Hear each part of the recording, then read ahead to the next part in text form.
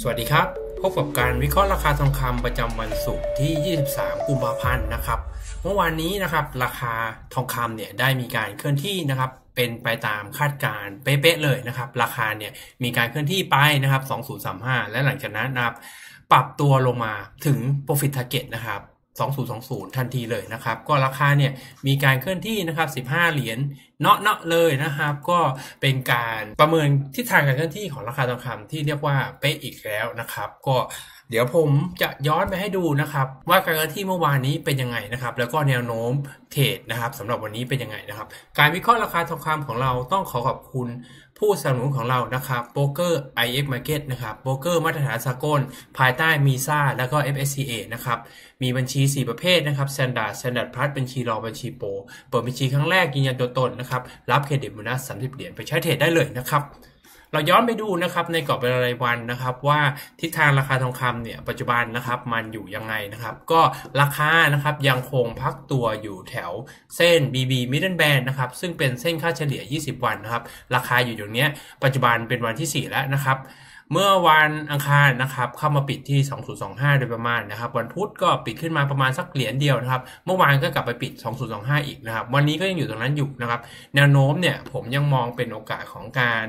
break and retest เช่นเดิมนะครับก็คือราคาเลยมีการเคลื่อนที่ในกรอบสามเหลี่ยมตรงนี้นะครับแล้วก็มีการหลุดไปนะครับบริเวณนี้และหลังจากนั้นเนี่ยน่าจะเป็นการ retracement นะครับกลับขึ้นมา เพื่อที่จะลงต่อนะครับไป test EMA 120 แถว1995นะครับหรือลงไปต่ำกว่านั้นครับ1980 ซึ่งเป็น demand zone นะครับนี่คือแนวโน้มคาดการณ์กันที่กรอบเวลารายวันยังมองแบบนั้นอยู่นะครับทีนี้นะครับกรอบเวลาราย 4 ชั่วโมงนะครับเป็นยังไงนะครับ สี่ชั่วโมงเนี่ยนะครับ ก็ตอนนี้นะครับมันยังอยู่ในบริเวณต่ำกว่า supply zone นะครับ เมื่อวานเนี่ยราคาขึ้นไปทำ2035 แล้วก็ลงมา 2020 นะครับ 2020 บริเวณนี้นะครับ มีแนวรับนะครับของกรอบ channel ตัวนี้นะครับ ผมไฮไลท์สีขึ้นมานะครับ กรอบกรอบแนวรับตัวนี้นะครับก็เป็นตัวดันราคาขึ้น แต่ว่าเราจะเห็นว่าราคาเนี่ยมันเกิด price curve แล้วนะครับราคามีการเคลื่อนที่และก็โค้งหลังจากที่มันไปเจอแนวต้านเส้นประนะครับแล้วก็แนวต้านฟิโบนัชชีตรงนี้นะครับเมื่อวานทำไมถึงคาดการณ์ว่าเป็น 2035 นะครับก็ต้องบอกก่อนว่าเมื่อวานเนี่ยผมใช้ BB นะครับ Bollinger Band นะครับ ของกรอบเวลา 4H ขึ้นมา เราจะเห็นว่าตัว upper band เนี่ยมันอยู่ประมาณเนี้ยนะครับ ซึ่งมันตรงแนวฟิโบนัชชีนะครับ67.8 ของสวิงไฮตรงนี้กับสวิงโลตรงนี้นะครับ เป็นแนวต้านนะครับ แล้วก็เป็นแนวต้านของ upper band นะครับ แล้วก็มันมีน่าจะมีการนะครับขึ้นไปทำ ตัว bearish divergence ตรงนี้นะครับ หรือว่าเป็น triple tap นะครับของกรอบเวลา 4H หรือว่า 1H นั่นเองนะครับ หลังจากที่มันเป็น bearish divergence เนี่ย ราคาก็ลงมาตามคาดการณ์นะครับ ซึ่งเราเห็นแล้วนะครับว่ามันเป็นแนวรับที่เกิดขึ้นตั้งแต่ช่วงตีหนึ่งของวันพฤหัสนะครับ พอเมื่อวานเนี่ยราคาก็ลงมาอีกทีนะครับ ในช่วงตีหนึ่งเช่นเดียวกันนะครับ ตอนนี้ก็อาจจะเป็น ranging นะครับ การเคลื่อนที่วันนี้นะครับ อย่างที่บอกไปเมื่อเช้านะครับวันนี้น่าจะเทรดยากแล้วนะครับ เพราะว่าราคาเนี่ยนะครับมันเคลื่อนที่นะครับถ้าเราดูลักษณะของ Dow Theory นะครับขึ้นนะครับยก low นะครับยก high นะครับมี high ที่ต่ำลงครับลงมาทำ low ที่ต่ำลง ยกไฮสูงขึ้นนะครับทำอีโคโลนะครับทีนี้มั่วแล้วนะครับราคาเนี่ยมันปัจจุบันเนี่ยมันติดอยู่เรน BB Middle Band นะครับของกรอบ 1H นะครับมันสามารถที่จะ ไต่ขึ้นไปบริเวณนี้ได้นะครับ แนวต้านของกรอบสามเหลี่ยมนะครับ แล้วก็กลับลงมานะครับมาหา BB Middle Band แถว 2025 2026 นะครับ หรืออาจจะเกิดการปรับตัวลงนะครับ ลงมาทดสอบแนวรับตรงนี้นะครับ แล้วถ้า Bearish Momentum ยังอยู่นะครับ อาจจะลงมาหา 2020 เช่นเดิมในลักษณะนี้นะครับ เพราะฉะนั้นเนี่ยก็วันนี้นะครับกรอบ 1H เนี่ยนะครับเน้นให้เทรดในกรอบสามเหลี่ยมตรงนี้นะครับ กรอบสามเหลี่ยมที่ผมไฮไลท์สีฟ้าๆขึ้นมานะครับ สามเหลี่ยมนั้นก็คือจุดนี้นะครับ ยึดเส้นาลากที่ลากสวิงไฮ ล่าสุดนะครับของเมื่อวานกับของเมื่อวันที่ 1 กุมภาพันธ์นะครับลากสวิงไฮสองอันเข้าด้วยกันนะครับ เราจะได้แนวต้านกอบสามเหลี่ยมขึ้นมานะครับ แนวรับนะครับก็เป็นแนวรับเดิมของ channel ในขาขึ้นนะครับ ตรงนี้นะครับกรอบสามเหลี่ยมนี้นะครับ ถ้าเราจะเทรดระหว่างวันแนวต้านนะครับ ก็พิจารณา short นะครับ แนวรับก็อาจจะต้องเสี่ยงนิดหนึ่งนะครับในการพิจารณา buy เพราะว่าตอนนี้โมเมนตัมขาขึ้นมันลดน้อยนะครับ การ buy ขึ้นไปก็อาจจะไม่ใช่โอกาสหรือว่าแนวทางที่ดีนักนะครับ สิ่งหนึ่งที่บอกได้นะครับ วันนี้ก็คือถ้าราคาหลุด 2020 นะครับอย่างที่บอกถ้าหลุด 2020 ปุ๊บ ราคามีโอกาสที่จะลงเคลื่อนที่กลับมานะครับ 2010 ในระดับนี้นะครับ ซึ่ง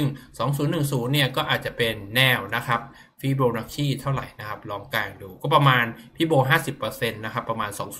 2009.6 นะครับ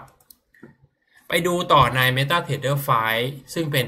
แอปพลิเคชันสำหรับเทรดบนเดสก์ท็อปนะครับของ IUX Market นิดหนึ่งนะครับ ตัวนี้นะครับเราสามารถดาวน์โหลดได้จาก Windows นะครับ หรือว่าท่านนะครับใช้หรือว่าสะดวกบน mobile นะครับ ท่านไปที่ iOS หรือว่า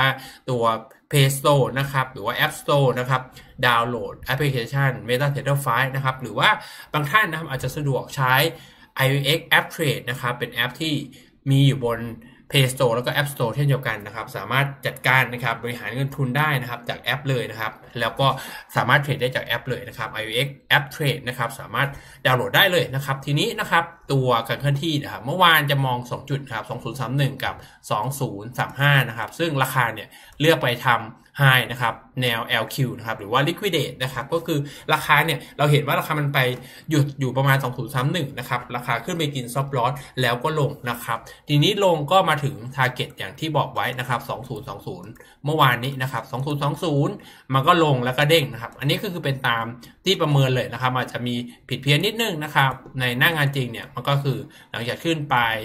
20 35 แล้วนะครับ มันก็จะไหลลงมานะครับ 20 20 ตรงนี้นะครับ ตอนนี้ก็เริ่มเด้งตามกรอบชาแนลสีเขียวนะครับ มีความเป็นได้หลายแบบนะครับ อาจจะขึ้นไป ตอนนี้มันติด BB b i n d e n Band อยู่นะครับ แล้วก็ลงมาเทสแนวรับนะครับถ้าอย่างที่บอก bearish momentum หมดก็จะไหลลงมานะครับ 20 10 โดยประมาณนะครับ หรือว่าอาจจะเคลื่อนที่ไปนะครับ ได้รับ bullish momentum เพิ่มขึ้นนะครับ อาจจะไปทำแถวประมาณสัก 2028 หรือว่า 2030 ซึ่งเป็นแนวต้านของกรอบสามเหลี่ยม แล้วก็จะลงอีกนะครับ เราเน้นเทรดในกรอบก่อนนะครับ spread เฉลี่ยทองคำของบัญชีเทรดนะครับ ผมใช้บัญชีประเภท Raw นะครับ ซึ่งมี spread ที่ต่ำที่สุดของ IUX Market นะครับ เราจะเห็นว่านะครับ มันจะมี spread นะครับ ปัจจุบันเนี่ยอยู่ที่ 6 นะครับ ถ้าเป็นช่วงหัวค่ำเนี่ยประมาณ 5 เท่านั้นนะครับ เทรดเนี่ยกำไรรวดเร็วมากๆนะครับ ถ้าเราดูกรอบเวลา 1 นาที เราจะเห็นว่าบิตนะครับอยู่ที่ 64 นะครับ อาร์คอยู่ที่ 70 นะครับ 2024.70 ก็ 6 เท่านั้นนะครับ ราคาขยับนิดเดียวกำไรแล้วนะครับ เพราะฉะนั้นถ้าเทรดทองนะครับต้องเทรดกับ iOS Market นะครับแล้วกับพบกันใหม่กับการวิเคราะห์ราคาทองคำจากเพจ Forex Trade Review สนับสนุนโดย b r o k e r i m Market โบรกเกอร์มาตรฐานสากลได้รับการยอมรับจากทั่วโลก สวัสดีครับ